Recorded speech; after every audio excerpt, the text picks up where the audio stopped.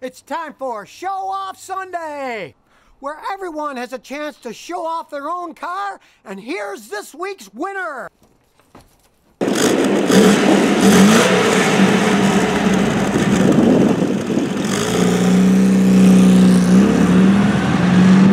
Welcome to my 1973 MGB. This is my first and only car that I bought during high school for my junior high music instructor. He called me up the summer after my freshman year of high school and asked if I was getting my driver's permit soon, which I said yes to. He replied with, Well, how would you like to have my 1973 MGB? Being a naive 15 year old, I had no idea what an MGB was, so I was on the phone with him. I quickly Googled it and once I saw some pictures, I very quickly said, heck yeah. I like to say that I bought the car in boxes, mostly because it came with the engine and transmission removed from the car. My music instructor had rebuilt the factory 4-speed transmission and removed the engine to replace the rear main oil seal, but could not find the time to finish the project, hence why he sold it to me. Over the course of the next year or so, my father and I began to reassemble the car. Originally, the engine and engine bay was black, but we decided to clean it up and paint it red to match the color of the car. My dad was really the main proponent of that, since I really wasn't too enthusiastic about cleaning off 40 years of worth of grease to paint it, but I am grateful I went through that effort now. We got it running and I drove it around for my senior year of high school, but I soon noticed that the engine had very low oil pressure and was only getting 90 psi of compression in each cylinder. During the summer after I graduated, my dad and I tore apart the engine again and gave it the refresh it needed by rebuilding the head, putting in new rings, conrod bearings, and a new oil pump. After breaking in the refreshed engine, I drove it 650 miles from where I grew up in Southern California to Utah, where I am now going to college. This video here was taken during my road trip up to school. Since the car is my daily driver, I installed a luggage rack so I could fit more things into the car if need be.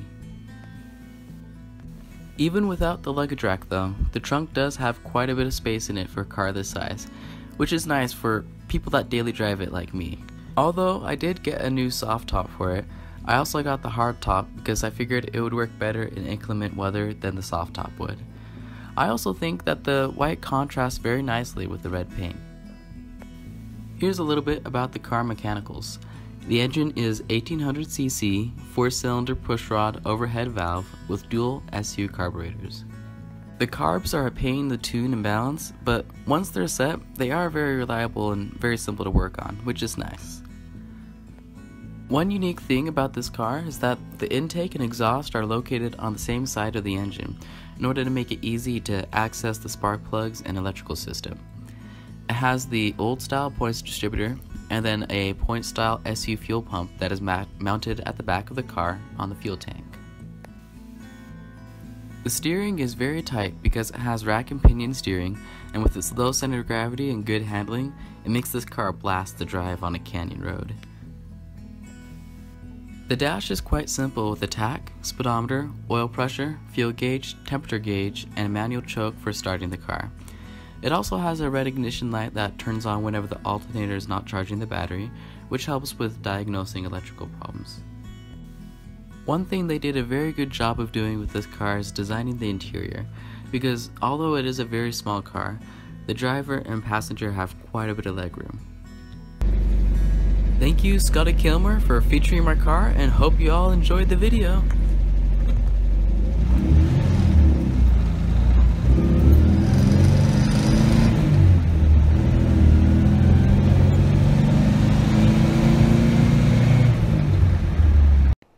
Was this week's video. And remember, to have your car video highlighted here on my channel, check this out.